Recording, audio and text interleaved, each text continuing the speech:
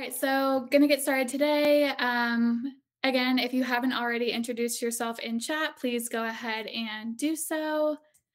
Uh, I'm Kara. My name is my name is Kara. I'm the director of client services for Nextiny. I'm covering the CMS office hours today to take a little bit more of a closer look on the data and analytics side. So if you have some technical questions around how to practically use CMS Hub, happy to answer those as well. But wanted to introduce something called custom analytics to you guys if you have not gotten into those already. This is a monthly um, engagement here. So if you guys want to come on a monthly basis and get to learn more about the CMS, we're happy to have you. It's also something that is linked to a community page. So anytime you have any questions, you can throw those there as well. So again, we're to be covering custom analytics views inside of HubSpot. So that is what we're going to dive into now. And of course, if you have questions along the way, feel free to throw those into the chat pane and we will get to those along the way with members of my team. And then I will answer some of those questions at the end as well.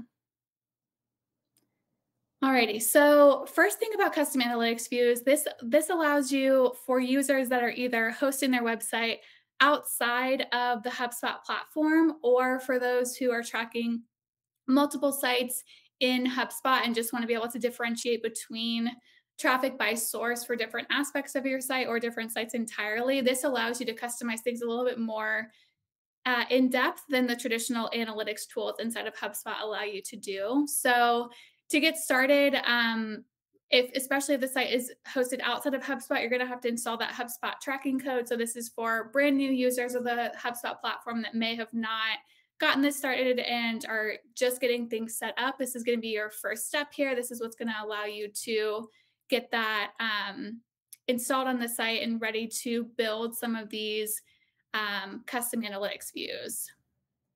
After that, you're going to navigate to your um, either you can follow these instructions here and, and navigate to tra tracking and analytics, tracking code, and then click on analytics views. You can alternatively do this by going to um, reports and then traffic analytics and um, manage those views up at the top. And I can I can pop that open for you guys at the end if you have any questions around that. And that's going to allow you to create those custom views.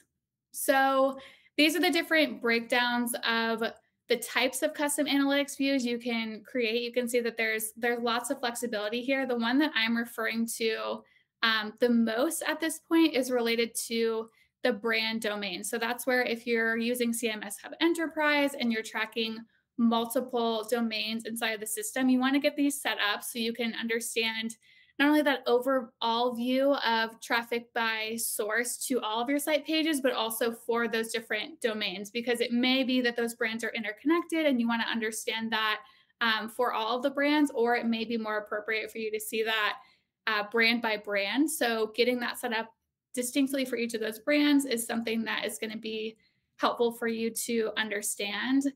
Um, there may be other cases, again, this is going to be more specific for those users that are hosting their site outside of HubSpot, that you're wanting to see that traffic by source breakdown for a particular page that's hosted outside of the HubSpot CMS. And so that's when you're going to want to use one of these either URL path starts or contains values to be able to track those specific pages. Inside HubSpot, without doing that, you can track just general page views. So understanding sessions day by day or week over a week, but you won't be able to get that drilled down traffic information without setting up these filters. Some things to consider here, um, just so you guys kind of understand what to expect. The sooner you set these up, the better, because although you'll have the overall traffic information retroactively from the moment you um, set up that tracking code and moving forward. If you choose to set up some of these custom analytics views after your portal is already set up, you will only have this data from the moment you set that up. So let's say your contact us page is hosted outside of HubSpot. You've had your tracking code installed for two weeks. You've got general page views related to that page for now, but the moment you you create that custom analytics view is the moment that you will then start having that traffic by source breakdown in HubSpot. It won't go um, retroactively. It only starts the day that you create that view for yourself. So just something to keep in mind.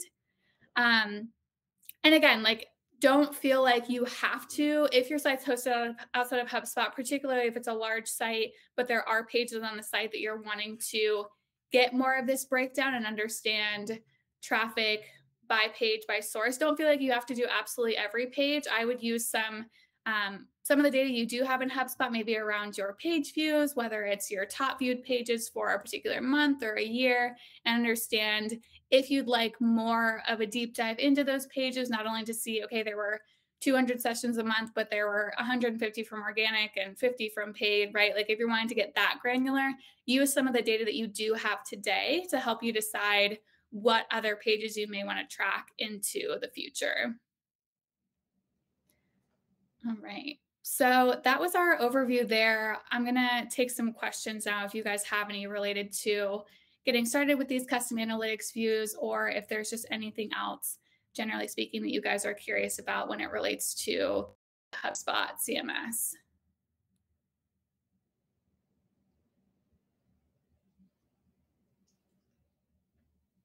And I see in the chat where that Lee is asking about sharing the slides. We will do a follow up to this and the slides will be shared.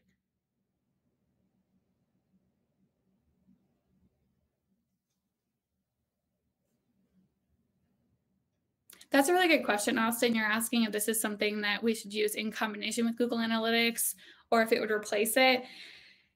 It's a it's not going to be a full replacement for the information you can get inside of Google Analytics, but I think it's granular enough that if you're just relying on Google Analytics at this point for more of that traffic by source per page or session length, bounce rate, exit rate, the HubSpot reporting has gotten to a place where if you are primarily using Google Analytics just for that data set, then setting these up in HubSpot would certainly be a replacement. Now, there's other um, more granular aspects that you may still want inside of Google Analytics, but I would love to know maybe what some of those are to see if I can help you leverage that either through these custom analytics views or maybe even just some of the other reporting functions inside of HubSpot. Alrighty, well, thank you guys so much for attending today's session. I hope this was helpful information, and we look forward to seeing you at next month's office hours.